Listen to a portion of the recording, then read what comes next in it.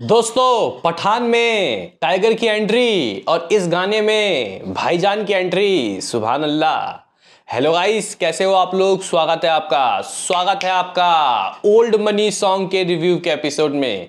हम लोग काफ़ी समय से इस सॉन्ग के दोस्तों जो इंतज़ार है, उसमें मतलब तड़प रहे थे।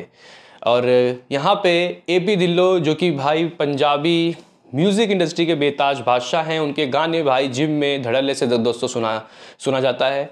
तो कहीं ना कहीं ए पी दिल्लो आजकल काफ़ी ज़्यादा गाइस चर्चाओं में है अपनी सॉन्ग यानी कि ओल्ड मनी को लेके। इसलिए भी कि वो लंबे समय बाद कोई नया सॉन्ग आ रहे हैं और इसलिए भी क्योंकि यहाँ पे दो बड़े एक्टर का मिलन हो रहा है, संजय दत्त और सलमान खान। आखिर दोस्तों यहाँ पे इस गाने ने मुझे कितना इम्प्रेस किया?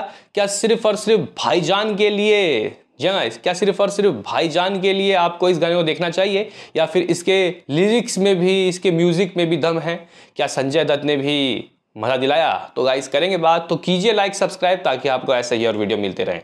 तो करते हैं अपनी इस वीडियो को शुरू लेट स्टार्ट देखो भाई, वैसे तो अगर हम लोग पंजाबी सॉन्ग की बात करते हैं तो गाइज़ हमने देखा है अक्सर यार गैंगस्टरपन बहुत देखता है।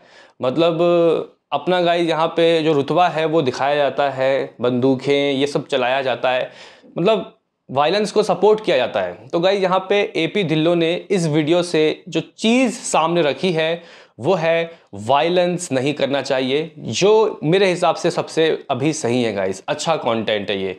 और मुझ मेरे हिसाब से दोस्तों यहाँ पे जो पंजाबी सिंगर्स हैं, जो वायलेंस सपोर्ट वाले गाइस वीडियो बनाते हैं उनको अब बंद कर देना चाहिए क्योंकि वायलेंस बहुत हो रहा है दोस्तों। अभी कट्टे लेके घूमते हैं भाई पंजाबी गाने सुनने के बाद लोग बाग। तो गाइज़ यहाँ पे आ, ये जो सॉन्ग है ए पी ढिल्लो का इसको अप्रिशिएशन मिलना चाहिए एज आ कंटेंट वाइज क्योंकि इसमें आपको कोई बहुत बड़े बड़े गाइज़ ऐसे चीज़ें देखने को नहीं मिलेंगे कि मैं ये हूँ मैं वो हूँ मैं इतने लोगों को ऐसे मार देता हूँ। यहाँ पे साक्षात दिखाया जा रहा है कि एक बंदा है जिसका किसी से भिड़ंत हो गया है मे बी शायद शिंदा शिंदा करके कोई है।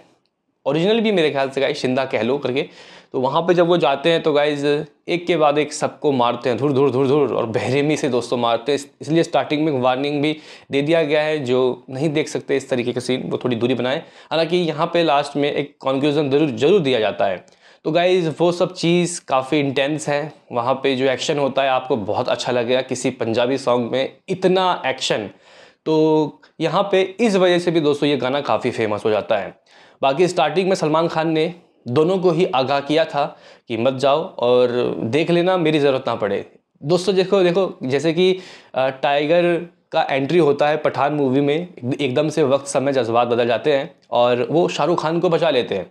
ऐसे ही इस सॉन्ग में एक बार यहाँ जो ए पी धुल्लो हैं, दोस्तों, वो फंस जाते हैं, उनको रस्सियों में बाँध देते हैं, बस मरने ही वाले होते हैं तो पीछे से आते हैं भाईजान। अगर ये सॉन्ग थिएटर्स में, दोस्तों, चलेगा तो उस सीन के लिए कितने तालियाँ बजेंगे, कितनी सीटियाँ बजेंगी, कह नहीं सकते। तो गाई जब भाईजान आते हैं, धड़ धड़ धड़ धड़ मतलब गाइज़ सबको उड़ाते हैं, और कहीं ना कहीं जो गाइज़ इनके सरगिना हैं अपने सरदार जी, यानी कि मे बी शिंदा उसको भी गोली लगती है, लेकिन कह सकते हैं कि वो अभी ज़िंदा है। फिर फ़ोन आता है संजय दत्त का। संजय दत्त, दोस्तों, संजय दत्त हालाँकि फ़ोन में बात कर रहे हैं, भाईजान से भी मज़े लेते हैं एपी दिल्लो से भी, उनकी तारीफ़ करते हैं, वो कहीं ना कहीं वायलेंस ना करने की अपील करते हैं। तो गाइज़ अच्छा तो लगा संजय दत्त की बात है पंजाबी बोल रहे हैं, वो मज़ा आ रहा है, लेकिन सामने होते और दोनों गाइज़ एक्शन करते तो और ज़्यादा मज़ा आ जाता। अब ऐसा लग रहा है कि यहाँ पे इन लोगों ने क्लाइमैक्स में मामला रोक दिया और अब यहाँ ओल्ड मनी टू की तैयारी चल रही है। तो गाइज़ वीडियोग्राफी कुछ इस तरीके का लगा। सॉन्ग की बात करते हैं ए पी दिल्लो हमेशा की तरह दोस्तों, बहुत ज़बरदस्त तरीके का दोस्तों उन्होंने सॉन्ग बनाया है। उनके कई सॉन्ग हम लोग अभी भी अपने प्ले में रखे हुए हैं लाइक ब्राउन मुंडे मुंडे सारे के सारे वो कौन सा गाना है? इनसेन नाम है ना? बाकी इसके अलावा पता चलेगा। और भी कई गाने हैं जो गाइज़ इनके ट्रेंडिंग में चलते हैं, लोग सुनते हैं तो ये भी शायद मेरे ख्याल से one of the most valuable और मोस्ट गाइज़ वॉचिंग और लिसनिंग वाले सॉन्ग के लिस्ट में ज़रूर आएगा, मुझे ऐसा लगता है। बाकी तो भाईजान का तो गाइज़ है ही स्टार्डम हालाँकि इन्होंने ए पी ढिल्लो ने दोस्तों अपने ऑफिशियली यूट्यूब चैनल में डाला है, जिसमें अभी व्यूज़ उतने नहीं आए, लेकिन ये जिस तरीके का गाइज़ गाना है, जैसे इसमें एक्शन है तो ये बहुत जल्दी दोस्तों सौ मिलियन होगा। आप लोग लिख के रख लो। तो गाना मुझे पसंद आया है हालाँकि यहाँ पे एक चीज़ की कमी है कमी भाई कमी किसमें क्यों नहीं किसमें नहीं होती? कि गाना छोटा था भाई हम लोगों ने देखना शुरू किया और वो ख़त्म भी हो गया। बाकी एक्टिंग की भी तारीफ़ करूँगा भाई ए पी ढिल्लो। मुझे नहीं लगता कि किसी मूवी में इन्होंने दोस्तों पहले काम किया है। लेकिन एक्टिंग वाइज भी दोस्तों इनका काम अच्छा है रैप तो कर ही रहे हैं। आ, पंजाबी ये जो सॉन्ग है इसके लिरिक्स मत पूछना कि कौन से लिरिक्स आपको अच्छे लगे। जो भी बोल रहे हैं अच्छा लग रहा है, हालाँकि ऊपर से जा रहा है। आपको समझ में आया तो बताना भाई साहब। मिलते हैं किसी नेक्स्ट वीडियो में। अभी के लिए इतना ही।